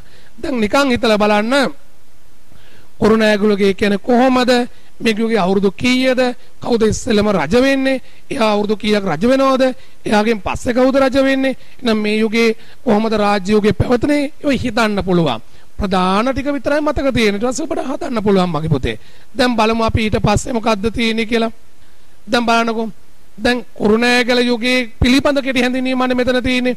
දැන් කුරුණෑගල යුගයේ අධ්‍යයනය කරන විට පැහැදිලි වන දෙයක් තමයි පුතේ. සාසනික දියුණුව. වෙහෙර විහාර පන්සල් හදන දියුණුවට වඩා වැඩි සංවර්ධනයක් වඩාත් දියුණුනේ පොතපත පිළිබඳව. දැන් මගේ පුතේ හිතන්නකෝ බෞද්ධ රටක් හැටියට රජවරු බෞද්ධයෝ. ඒකට බුදුදහමට මුල් තැන දුන්නා. ඒ ප්‍රධාන දේවල් කළා. පන්සලට ආදරය කළා. හැබැයි සාසනික ක්‍රියාකාරකම් වලටත් වඩා කුරුණෑගල යුගයේ දැවැන්ත ලෙස දියුණුවක් ඇතුණ මොනව සම්බන්ධයෙන්ද පොතපත කිරීම සම්බන්ධයෙන්. ඒක මගේ පුතාලා දන්නවා පසු කාලීනව ලංකාවේ දියුණු ප්‍රබල පිරිවෙන් තියෙනව නේද? භික්ෂු අධ්‍යාපනය ලැබුව එක භික්ෂුන් වහන්සේලා විතරක් නෙමෙයි මගේ පුතේ. ගිහි අය පවා ඉගෙන ගත්තා. ඒතර මේ පිරිවෙන් වල මූලාරම්භය පවා ආරම්භය පවා ඇති වෙන්නේ මේ කුරුණෑගල යුගයේදී. දැන් අපි දන්නවා කෝට්ටි යුගයේදී ප්‍රබල පිරිවෙන් තියෙනවනේ. ජාත්‍යන්තර මට්ටමේ ප්‍රසිද්ධ පිරිවෙන්. ඒ පිරිවෙන් වල ආරම්භය සයටුවාන් වන්නේ මෙන්න මේ කුරුණෑගල යුගයේ. දැන් තව එකක් තමයි පුතේ කුරුණෑගල යුගයේදී තව විශේෂත්වයක් තමයි දැන් ඔය මුල් කාලේ ඉඳලා පොතපතට රාජ්‍ය අනුග්‍රහය වගේම ප්‍රභූ අනුග්‍රහය ලැබුණා. ඒක මගේ පොතේ තව එකක් තමයි මොකක්ද? තව දෙයක් තමයි ඇමතිවරුන්ගේ දායකත්වය. පොතපත කරන්න, ආරාධනා කරන්න. ඒව ප්‍රබල ලෙස ලැබුණා. ඒකම කුරුණෑගල යුගයත් ඒකේ ප්‍රබලම වෙනවා. අපි දන්නවා වීරසිංහ ප්‍රතිරාජ ඇමතියා. දැන් ඔහු පොත්පත් ලිව්වා. ඒ වගේම අපි දන්නවා උම්මගේ ජාතකය වගේ පොත් ලිව්වා. ඒවෙන් පැහැදිලි වෙන්නේ ප්‍රබල ලෙසම ඇමතිවරුන්ගේ සහ ප්‍රභූවරුන්ගේ අනුග්‍රහය මේ යුගයේ මේ ඔක්කොම එකතු නිසා තමයි කුරුණෑගල යුගයේ විශිෂ්ට සාහිත්‍යයක් කරගන්න පුළුවන් වෙන්නේ. දැන් පුතාලා මට මෙහෙම කියන්නකෝ. ඔබ තනින් හිතන්නකෝ. කුරුණෑගල යුගයේ රජවරු කාලිංග මාග වගේ වුණා නම් මේ දිනුවත්පත් කරගන්න පුළුවන්ද බෑ. කාලිංග මාගීට ඉඩ දුන්නේ නැහැ. ඔහු කලේ මොකද්ද? විනාශ කරන එක විතරයිනේ. හැබැයි මගේ පුතේ මොහු කලේ මොකද්ද මේ යුගයේ රජවරු මොකද්ද කලේ? සාහිත්‍ය පතපොතර මහා දවැන්ත දායකත්වයක් දුන්නා. ඔවුන් පවා මහා දවැන්ත උගත්තු නේද? ඒ උගත්තු පවා දවැන්ත දායකත්වයක් දුන්න ඔවුන් පවා පොත්පත් ලිව්වා. උපාධි ඔවුන් ලබා ගත්තා. ඔවුන්ට පිරිවෙන් අධ්‍යාපනය දියුණු කළා. භික්ෂුන් වහන්සේලා මේකට වැඩිපුර යොමු කළා. ඔවුන්ට රාජ්‍ය අනුග්‍රහය ලබා දුන ඒවයි එකතුවෙන් තමයි මේ කුරුණෑගල යුගයේ දැවැන්ත ලෙස මේ සාහිත්‍ය නවෝදයක් ඇති වෙන්නේ. දැන් පුතාට ඒක තේරෙනවා. දැන් බලන්න ඊළඟට මේ කුරුණෑගල යුගයේ ඉච්ච පොත් පුතේ වර්ෂත් එක්ක ඔබට බලා ගන්න පුළුවන්. හැබැයි පුතේ මේ වර්ෂ ඔක්කොම අමත අමතක වුණාට ගැල්ලුවක් නෑ. හැබැයි මේ යුගයේ ලියවෙච්ච පොත්පත් ටික නම් මගේ දෝල පුතාට හොඳට මතක තියෙන්න ඕන. දැන් මට කියන්න බෑ මොන තූප වංශය, දඹදෙණි අස්න, උම්මගේ ජාතකය, සිංහල ජාතක පොත, දලදා සිරිත, සිංහල බෝධි වංශය, අනාගත වංශය, දලදා පූජාවලිය. දැන් ආයි කියන මගේ පුතේ මොනවද?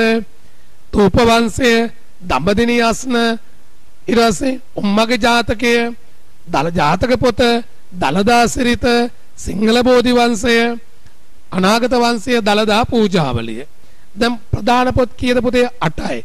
ඒකෙන් කියන්නේ තව පොත් තිබුණා මගේ පුතේ. තව ග්‍රන්ථ තිබුණා. හැබැයි මේ යුගයේ ලිවිච්ච ප්‍රධාන පොත් 8ක් තමයි මේ ගන්නෙ. ඔබට අඩුමතර මේ පොත්වල නම්වත් මතක තියෙන්න ඕන. ඊට අමතරව කෙටි සටහන් වශයෙන් යම් යම් පොත් පිළිබඳ අවබෝධයක් තියෙන්න ඕන. තව මට එක සැරයක් කියන්නකො මොනවද කියලා.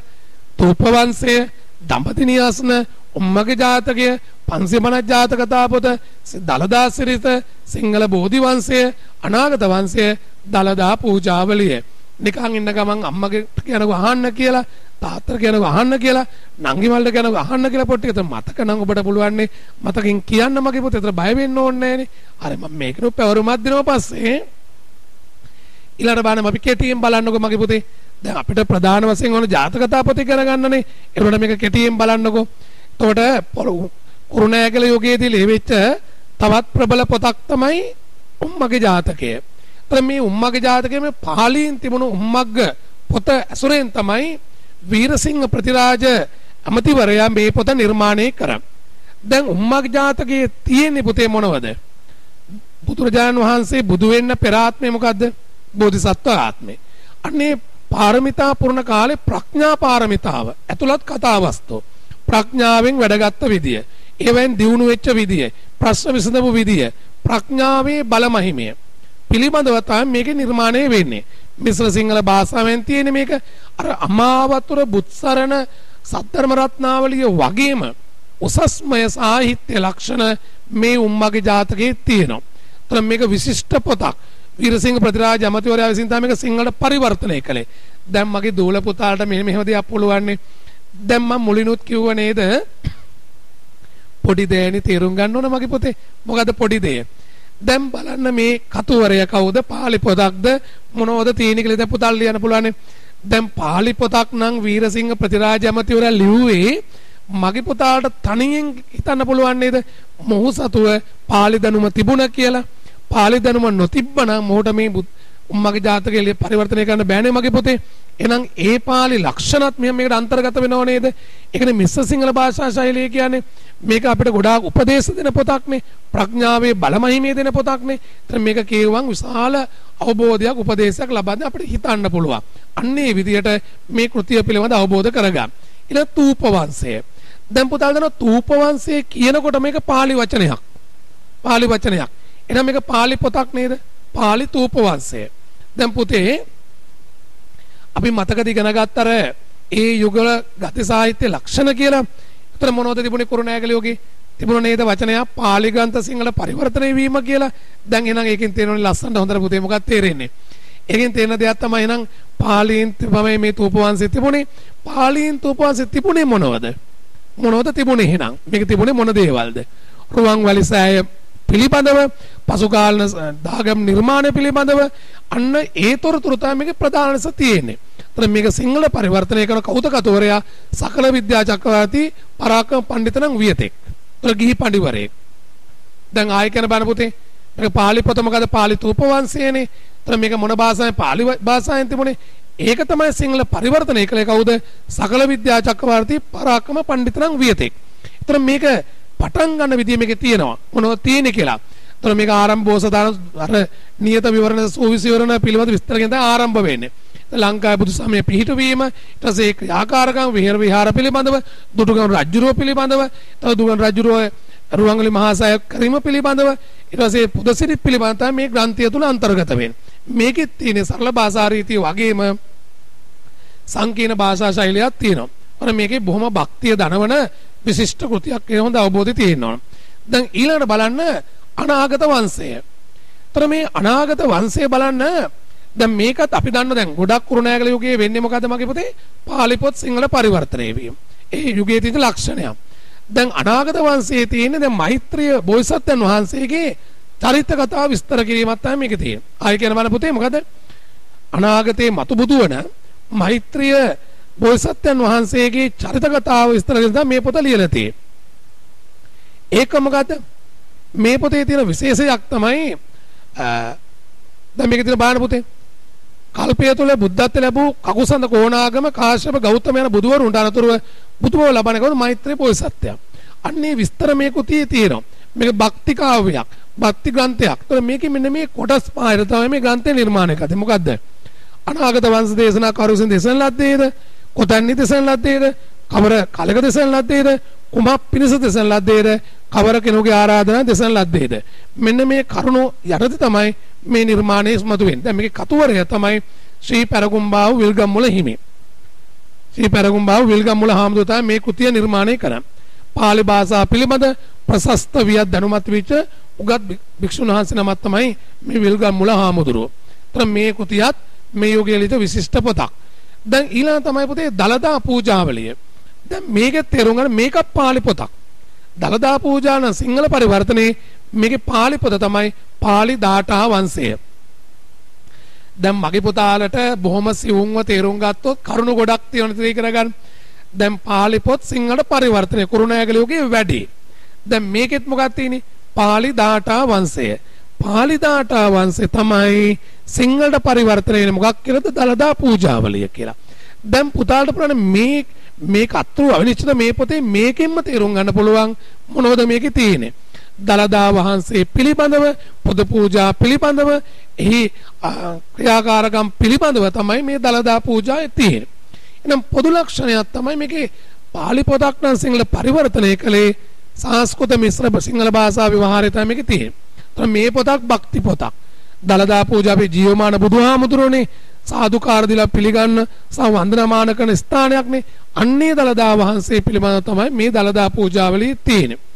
ඊළඟට පුතේ වැදගත්ම පොත තමයි මගේ දොළ පුතාලා ඉගෙන ගන්න ඕන මේ යුගේ මොකද්ද පොත? දලදා සිරිත පොත. මේ යුගේ ඉගෙනගත යුතු වැදගත්ම පොත මොකක්ද මගේ පුතේ? දලදා සිරිත පොත. දැන් විභාගයෙන් කුරුණෑගල යුගයේ පරිපූර්ණ දැනුමක් තියෙන ඕන කියලා කිව්වනේ. දැන් පුතේ මං ආපහු මේ පාඩම් පන්තිදි කරන්නේ නැහැ. දැන් ඔබට මම මේ පන්ති වගේම උගන්වනව නේද? ඔබට අඩුවක් තියන්නේ නැහනේ. හැබැයි ওই පොත පාඩම් කරලා විභාගට ඉලක්ක කරගෙන කරන ඉදිරි පාඩම් ටිකත් මම කරන්නේ මේ විදියට පුතාලට. ඒසා හොඳට කරන්න ඕන මහන්සි වෙලා ගෙදරදී හොඳට විභාගේ පාස් වෙන්න ඕන විශ්වවිද්‍යාලය යන්න ඕන. විද්‍යාපීඨ යන්න ඕන. හොඳ ප්‍රතිඵලයක් ගන්න ඕන. අම්මා තාත්තගේ ජීවිතේ ඔබ පිළිබඳ සතුටක් දෙන්න ඕන. හරි. දැන් බලමු. දලදා සිරිත කියන්නේ කුරුණෑගල යුගයේ ලියවෙච්ච ජාතකතා පොත වගේම ඒ තරම්ම විශිෂ්ට පොතක් තමයි මේ දලදා සිරිත කියන පොත. දැන් මේකට හේතු වෙන්නේ මේ පොතත් මුලදී පාලියෙන් තිබුණා. හැබැයි මේ පොත තමයි කුරුණෑගල යුගයේදී පුතේ මොකද්ද? දෙවුරත දම් පසඟිනාවන් කියන කතුවරයා මේ පොත ලියන්නේ වෘතගන්ධී ශෛලියේ. මේ කුරුණෑගල යුගයේදී වෘතගන්ධී ශෛලිය කියලා ශෛලියකින් ලියපු එකම පොත තමයි මෙන්න මේ දලදා සිරිත. දැන් විරිත්වල සුවඳ වාහනය වන ආකාරයට මම ඒක තව ටිකකින් ඔබට කියලා දෙන්නම්. මතක තියාගන්න මේ විතර කුරුණෑගල යුගයේ දෙව්රද දම් පසඟිනාවන් ලියපු විශිෂ්ටතම පොත මොකද්ද මගේ පොතේ? දලදා සිරිත. දැන් හරිනේ. ඒ පොත තියෙන විශේෂත්වය මොකක්ද? වෘතගන්ධී ශෛලියෙන් ලියපු එකම පොත මුළු පොතම ඒ ලක්ෂණ තිබුණා ජාතකතා පොතේ එකම පොත. ඒතර පුතේ දැන් පුතාලා තේරෙන්නේ නැහැ නේ මං ඇහුවොත් තේරුණාද? ඔබ කියන්න පුළුවන් ඕ. මං අහන වෙලාවට මොකද්ද වෘතගන්ධී ශෛලිය දන්නේ නැහැ සර්. ඒතර වෘතගන්ධී ශෛලිය පිළිබඳව මං ඊළඟ කොටසෙදි කියලා දෙනවා. මතක තියාගන්නකෝ. දැන් ලියන කතුවරයා. ඒතර මේකේ තා විසර දෙයක් දාඨාවංශය ඇසුරු කරගෙන දලදා සිරිතල් පොත ලියන්නේ මොකක් කරා? දලදා පූජා ලියන දාඨාවංශය. දලදා සිරිත ලියන්නේ පාලි දාඨාවංශය. ඒතර පාලි පරිවර්තන කෘති. ඒතර මේකේ තියෙන ඔක්කොම මොකද? පරිච්ඡේද හතක් තියෙනවා. ආරම්භ වෙන්නේ කොහොමද මේ පොත? දීපංකර පාදමූලයේ නියත වෙනු ලැබූ ඉන්ද්‍ර සුමේතාපසන් වහන්සේ සිට බෝසත චරිතය තමයි මේකේ කරන්නේ. ඒක දැන් ආරම්භ වෙන්නේ. මේ පොතේ පරිච්ඡේද හතයි. තා විශිෂ්ට පොතක්. බොහොම භක්තිය දරන පොතක්. එතකොට පුතේ ඔන්න මගේ වැදගත් කොටස. වැදගත් කොටස. කුරුණෑගල යුගයේදී පුතේ වැදගත්ම ලක්ෂණයක් තමයි මොකක්ද? වෘතගන්ධී ශෛලිය. මම මුලින් කිව්වා දලදාසරිත ලියලා තියෙන වෘතගන්ධී ශෛලියෙන් කියලා. හැබැයි දලදාසරිත තරම් මේ විරිතෙන් ලියපු වෙන කිසිදු පොතක් පුතේ නෑ මුලින්ම ලිය පස්ස කාලේ පොත් ලියවෙනවා. හැබැයි මේ ශෛලියෙන් ලියන පළවෙනි පොත සහ විශිෂ්ටතම පොත තමයි මේක. චොට්ටක් අහන් ඉනකො මගේ පුතේ. ගැඹුරින් ඕනේ පොඩ්ඩක් හොඳට තේරුම් ගන්නකෝ. දැන් මේ වෘතගාන්ධී ශෛලිය දැන් සංස්කෘත ශෛලිය. සංස්කෘත භාෂාවේ තුනේ ගද්‍ය ශෛලිය හතරක්. නිකන් කියවන මුක්තක වෘතගාන්ධී උත්කලික ප්‍රාය චූර්ණක. ආය කියන බලන්න මගේ පුතේ. දැන් පුතාලට පුළුවන් දැන් බලන් කියනෝක. මුක්තක වෘතගාන්ධී ශෛලිය උත්කලික ප්‍රාය චූර්ණක. දැන් ඔය නම් වශයෙන් මතක තිබ්බා පුතේ වටිනෝ නේද ලියනකොට යම් කිසි තැනකදී දැන් කොහොමද මෙන්න සංස්කෘතයේ ගද්‍ය ශෛලිය කොටස් හතරක් තියෙනවා මොනවද මුක්තක වෘතගාන්ධී ශෛලිය උත්කලික ප්‍රාය චූර්ණක කියලා ඒ හතරෙන් එකක් නේ පුතේ වෘතගාන්ධී ශෛලිය කියන දැන් තියෙනවද කියන දැන් මට නම් ආයෙ පැහැදිලි කියලා කියන්න. සංස්කෘතයේ තියෙනවා ගද්‍ය ශෛලිය හතරක්. ඒ හතරෙන් එකක් තමයි මොකක්ද? වෘතගාන්ධී ශෛලිය. එහෙනම් මොනවද මේ වෘතගාන්ධී ශෛලිය කියන්නේ? විරිතක සුවඳ වහනේ වන ලෙසට ගද්‍යත් පද්‍ය වගේම විරිත් වලට කඩලා කොටස් වලට කඩලා අන්න එහෙම නිර්මාණය කරපු තමයි දලදා සිරිතේ තියෙන්නේ මේ වෘතගන්ධී ශෛලිය. දැන් පුතාලා දන්නවා දැන් අපි කවියක් ගත්තොත් කවිය තියෙන විරිතක් තියෙනනේ. ලඝු ගුරු ගහලා විරිතක් තියෙනවා. දැන් පුතාලා දන්නවා සදවා සුදු වැලි පිවිතුරු බදවා රන් දද පියකරු සිටුවා දොර දොර රඹතුරු තබවා පුන් කුඹු විසිතුරු. එතන රැගත් සුරා පිරූ විතින් සුරත් තඹුරු පෙතිසෙනෙතින් පුවත් නොදන බමන ගතින් නටත් අයෙක් සුරා මතින්. විරිතක් තියෙනවා. එක් කවිවල. ලඝුගුරු ගහලා විරිත් වලට ගල්ලා අන්න ඒ කවිය තුල තියෙන විරිත් කලාවම ගද්‍ය වලත් කොටස් වලට කඩලා අනුප්‍රාසන මුල්තන දීලා එලිසමය තියලා අන්න ඒ විදියට හදපු ඒවට අපි කියන්නේ මෙන්න මේ වෘතගන්ධී ශෛලිය කියලා. දැන් බලමු කොහොමද මේක තියෙන්නේ. මේක උස්සනින් කියන්න පුළුවන්. බොහොම ලස්සන මිහිරියාවක් එනවා. අහන් ඉන්න ආසයි. දැන් ඔය බුත්සරණ තුලත් අමාවතුර පොත තුලත් ඔය ලක්ෂණය තිබුණා. ඒතර ජාතකතා පොතේත් ඕක තියෙනවා. බණක සද්ධර්ම රත්නාලේත් ඔය වෘතගන්ධී ශෛලිය තියෙනවා. හැබැයි ඒ ශෛලියෙන් ලියපු සම්පූර්ණ පොත තමයි මේ දලදා සිරිත. දැන් පුතාලා තියෙනවනේ අහන් ඉන්න ආස ඒ නිසානේ පුතේ. පරණ කාලේ පැය පහ හය බණ කියනෝ නේද? ඒ වගේ වියත් හාමුදුරුවෝ ඔක හරියෙන් හඬ නගලා ශබ්ද මාධුර්යයෙන් කියනකොට අර උගත් නූගත් බාලමහල්ලු ලොකු ගොඩා ඔක්කොම එක වගේ පුතේ අහන් ඉන්නේ. හරිම ආසයි අහන් ඉන්න. හරිම මිහිරි උපාසක අම්මලා එහෙම උපාසක මහත්තුරු එහෙම දොහොත් මුදුනේ අත් දෙක තියාගෙන සාදු සාදු කියලා අහන් ඉන්න පුතේ මේ හඬ. පොත ඒ තරම් මිහිරි මේ වෘත ගාන්ධී ශෛලියෙන් කරනකොට උස් බවක් තියෙනවා. දැන් බලන්න අපමුණිතු තිලෝනාසාර සැකවි කැප්සුවහස් මතුවේ. ඒක කඩනවා පුතාලා දන්නව ලගුරු ගහන්න. දැන් මෙතන අලුත් දූල පුතාලා හිටියොත් තමයි ගැටලුව වෙන්නේ. ඒ දූල පුතාලට ගැටලුවක් වුණොත් ඒ කොලේ ලියාගෙන මගෙන් දුරකථන ඇමතුමක් දීලා හරි අහන්න. එහෙම නැත්නම් පන්ති පටන් ගදාස පුතාලා අහන කොහොමද සර් මේක ගන්නෙ කියලා. දැන් බලන්න අපමු නිදුති ලෝනාසා මෙන්න විරිත් වල කන්න විදිය. එතකොට අපමු ගත්තොත් ලඝු තුනයි ඒක අපි කියන්නේ තුනක් එහෙම ආවට පස්සේ අපි කියන්නේ නගන කියලා ඒකට. නිදුති ඒත් ලඝු තුනක් එකට කියන්නේ නගන කියලා. ලෝනාසා ගුරු තුනක් ආවා කියන මගන කියලා. අන්න මේ ක්‍රමයට එනවනේ අපි කියන්නේ මාල්නී කියලා සංස්කෘතියේ විරිතක් තියෙනවා. අන්නේ විරිත විදිහට තමයි මේක කියන්නේ. ඒ හඬ තාලෙට කියනවා. මේක තමයි වෘතගන්ධී ශෛලිය. දැන් පුතාට තේරුණාද? අන්න එහෙම හොඳ තාසරයක් කියවලා අවබෝධ කරගෙන හොඳට ගන්න. එතකොට පුතාට ගොඩාක් හොඳට තේරුම් ගන්න පුළුවන්. හරි. දැන් අපි යමු අපේ ප්‍රධාන පොත මොකක්ද? 550 ජාතක පොත. මොකද්ද මගේ පුතේ අපේ ප්‍රධාන පොත? 550 ජාතක කතා පොත. දැන් පුතාලා දන්නෝ සිංහල බෞද්ධයෝ දැන් මෙතන මම නම් පොදුවේ මගේ මතේ හැටි නම් පුතේ බෞද්ධයෝ විතරක් නෙමෙයි. අපි ගත්තොත් ඕනම ජාතියක ඕනම ආගමක ඕනම කෙනෙක්. අපි බෞද්ධ කියලා බුදුදහමේ ශ්‍රී ලංකාවේ කියන්නේ එදා සිට අද දක්වාම ගෞරව සම්ප්‍රයුක්තව අපි මහා භක්තියෙන් පිදුම් ලබන ගරු කරන පුතේ පොත් දෙකක් තියෙනවා. එකක් මොකද්ද? පිරුවානා පොත් වහන්සේ. අනිත් එක මොකද්ද? ජාතක කතා පොත් වහන්සේ. තොර මේ දෙකට වහන්සේ කියන ගෞරව නාමය දීලා අවුරුදු දහස් ගණන් තිස්සේ මහා පූජනීයත්වයෙන් පුතේ අපි වැඳුම් පිදුම් කරන තවමත් එහෙමයි. පිරුවානා පොත් වහන්සේගේ පිරිස් සූත්‍ර දේශනාව ජාතකතා පොත් වහන්සේ තුල තියෙන මොකද්ද? බුදුහාමුදුරු බුදු වෙන්නට පෙර බෝධිසත්ව ආත්ම කතා තමයි ජාතකතා පොතේ තියෙන්නේ. තොර පුතේ අපි දන්නවා පිරිත් තුලින් අපිට ආරක්ෂා දෙන වගේම සිංහල ජාතකතා පොතේ මොකද ගන්නේ? ධර්මානුගත රසයකුත් එක්කම ධර්මානුගත කතා රසෙකුත් එක්කම බුදුදහමට ආවේනික වෙච්ච මොකද සුචරිතය, සભ્યත්වය, කර්මවාදය. මොකද මගේ පුතේ? සුචරිතය, සભ્યත්වය, කර්මය පිළිබඳව අපිට බොහොම ලස්සන ලියලා තියෙන ධර්මග්‍රන්ථය තමයි ජාතකතා පොත. එතකොට මේ පොත තමයි සිංහලේ එතෙක් මෙතෙක් ලියවුණු විශිෂ්ටතම කෘතිය තමයි මෙම ජාතකතා පොත පුතාලට තේරුම් ගන්න පුළුවන්. දැන් පුතේ දන්නවා දැන් මේකේ ගැඹුරු තැනට ගියොත් එහෙම සූත්‍ර පිටකේ තියෙන කුද්දක නිකාය දන්නවනේ මගේ පුතාලා අහලා තියෙනව නේද? සූත්‍ර පිටකේ කුද්දක නිකාය. කුද්දක නිකායට ඇතුළත් පොත් ග්‍රන්ථ ඒක එකක් තමයි ජාතක. අන්නේ ජාතක වලට ඇතුළත් වෙච්ච pāli ගාථා විස්තර කරලා ලියන පොතක් pāli ජාතකට්ට කතා. pāli ජාතකට්ට කතා.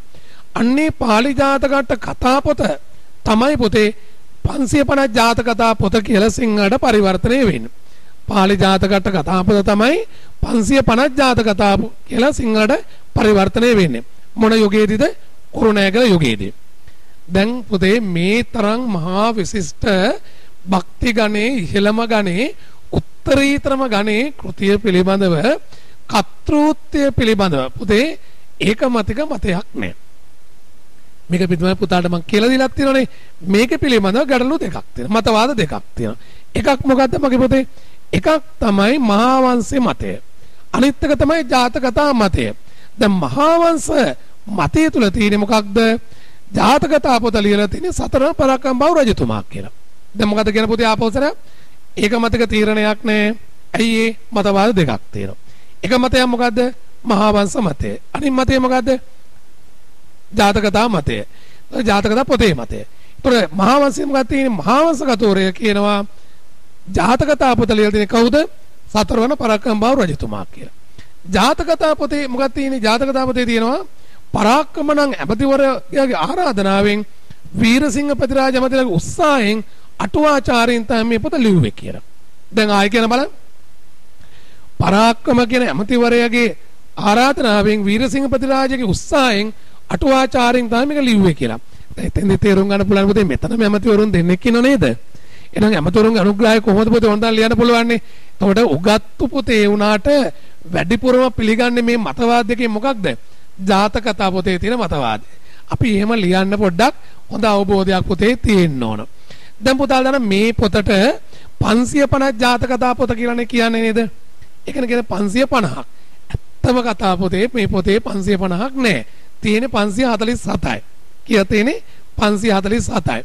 එතකොට ඇයි 550යි ඒක ගැඹුරු කරුණක් නෙමෙයි පුතේ. ලොකු ප්‍රශ්නයක් නෙමෙයි. ආසන්න ගණනක් වශයෙන් අරගෙන එක්ක 550 කියන්න පුළුවන්. තව දෙයක් චොට්ටි දෙයක් මතක තියාගන්න මගේ පුතේ. කුරුණෑගල යුගයේදී කතෘ මණ්ඩලයක් එකතු වෙලා කතෘ කීප දෙනෙක් එකතු වෙලා මේ පොත ලියන වෙනකොටත් ඔය උම්මගේ ජාතකයේ වෙනමනේ තිබුණේ පොතේ විරසිංහ ප්‍රතිරාජ ඇමතිවරු ලියපු ඒක වෙනමනේ තිබුණේ. ඒ වගේ තවත් ඔය උම්මදන්ති ජාතකයේ වෙනම තිබුණා. ඒ වගේ තමත් පරිබාහිර ජාතකතා වෙනම තිබුණා. ඉතින් ඒව මේකට අතුලත් කරලා නැහැ. ඉතින් ඒ නිසා ආසන ගණක් වශයෙන් අරන් මේකට 550 ජාතකතා පොත කියලා තියෙනවා. ඉතින් පුතේ දැන් සිංහල අපිට බෞද්ධ අපිට ලංකාවේ අපිට අපි ඇත්තම හොයාගෙන ගියොත් ජාතකතා පොත තරම් අපේ ජීවිතයට අතීතයේ ඉඳලා බලපෑම් කරපු තවත් එකම ග්‍රන්ථයක්වත් නැහැ කියලා කිව්වොත් මගේ පුතේ අපි අවිවාදයෙන් පිළිගන්න සිද්ධ වෙනවා. අපේ ජීවිතේ දුක් සතුට හැම දෙයක්ම අපිට බෙරලා දුන්නේ අපේ ජීවිතේ එළිය දුන්නේ ජීවිත හැදුවේ ජීවිත ගොඩ නැගුවේ මේ 550 ජාතකතා පොතෙන්. පුතාලා දන්නවා අපි අහලා තියෙන සිංහල කියමනක් මොකක්ද?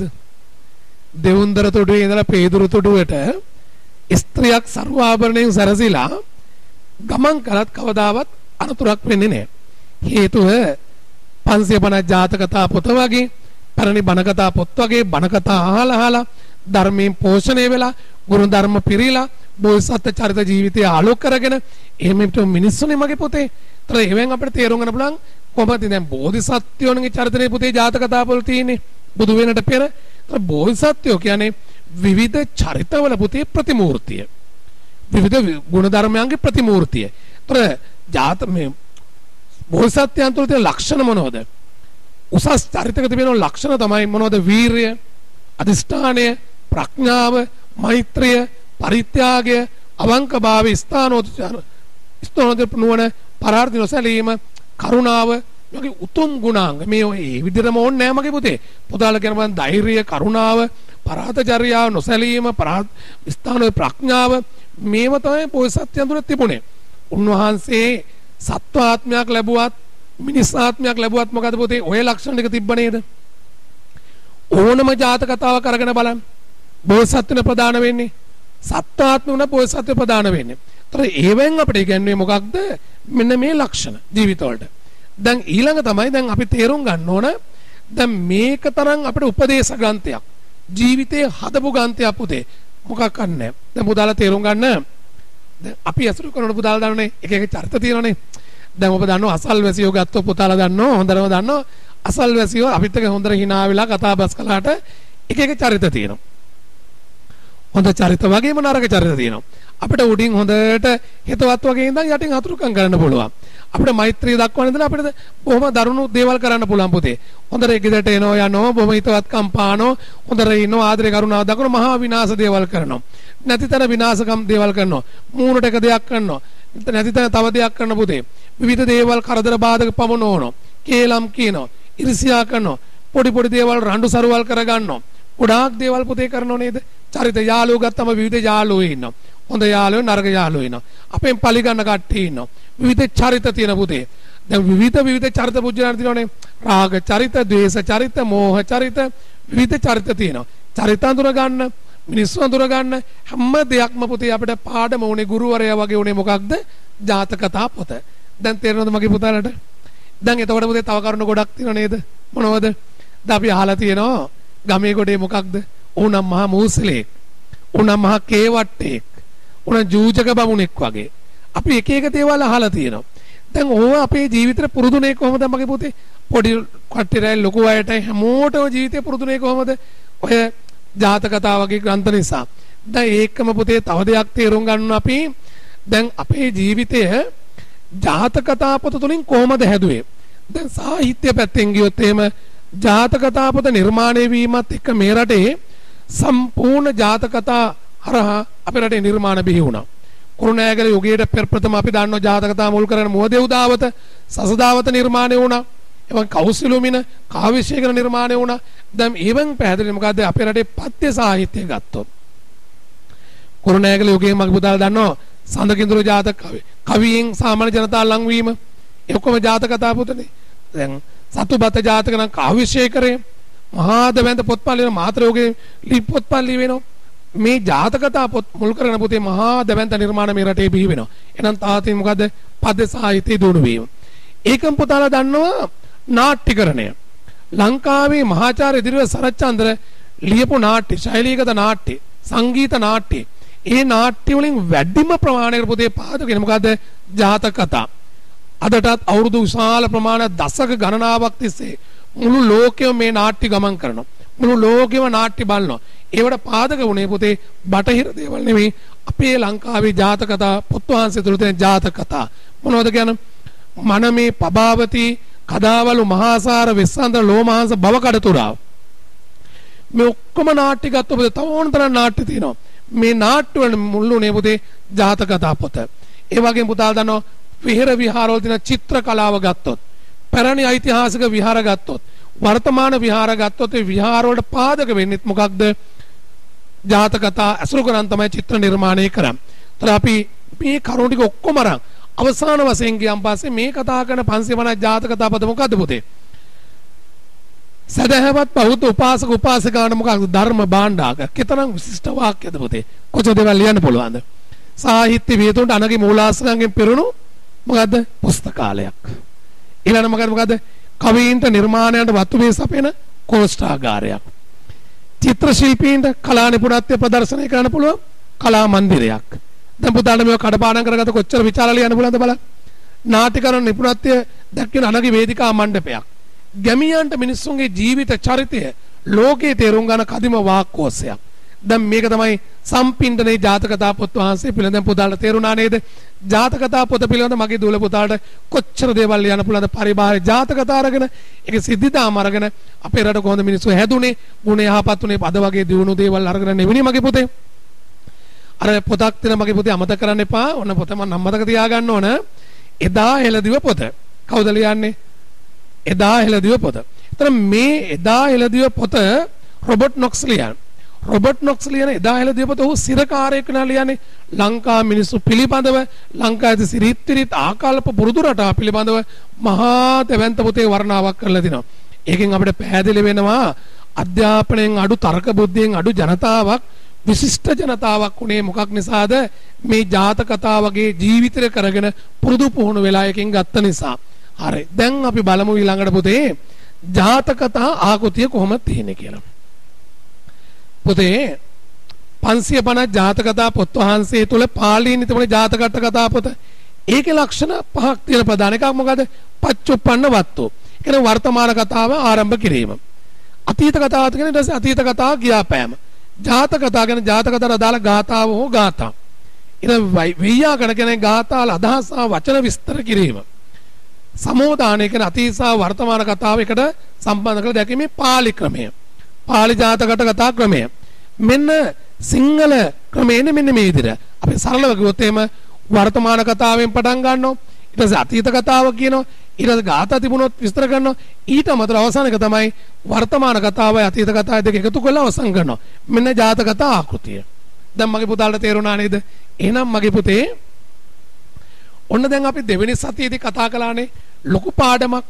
ඒ ලොකු පාඩම තමයි පුරාතන ගද්‍ය සාහිත්‍ය ඉතිහාසය, ඒ වගේම ගද්‍ය සාහිත්‍ය ලක්ෂණ, ඒවා කුරුණෑගල යුගය, කුරුණෑගල යුගයේ පොත්පත්, ඊට ජාතක කතා පොත් වහන්සේ පිළිබඳව කරුණු ගොඩක් තිබුණා.